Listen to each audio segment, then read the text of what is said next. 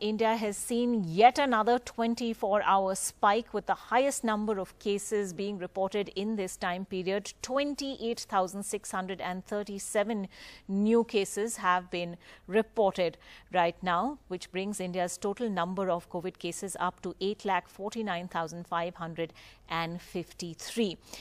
This uh, recoveries have gone up as well to 5,34,621, but with 551 new deaths in the last 24 hours, India's death toll has also gone up to 22,674.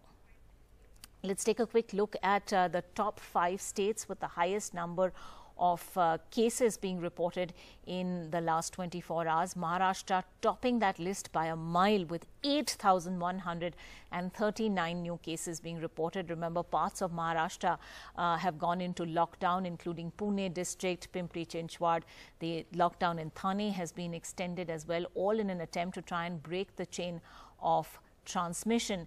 At number two is Tamil Nadu, which has reported almost 4,000 new cases, followed by Karnataka, which is also being seen as uh, uh, rapidly escalating and uh, Delhi uh, reporting under 2,000 cases. That's going to be uh, some good news for the national capital. Andhra Pradesh uh, is in fourth place with 1813 new cases. So Delhi now at number five among the worst hit cases states in the country.